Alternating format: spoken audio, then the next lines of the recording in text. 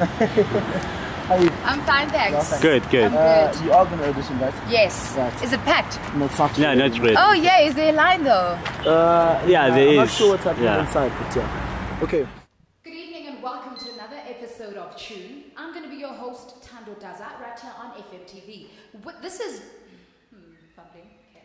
Uh, can I just continue from where I left off? Okay. We're going to be tell- we're going to be educating you guys about the latest new music shows. Mm. Okay. Okay, I'm going to start again. Sorry.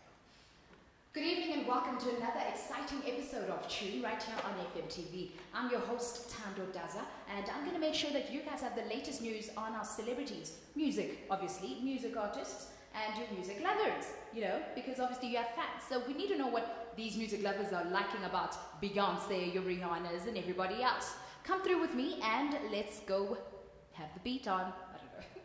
Ah, it frustrates me when people have it, but I know.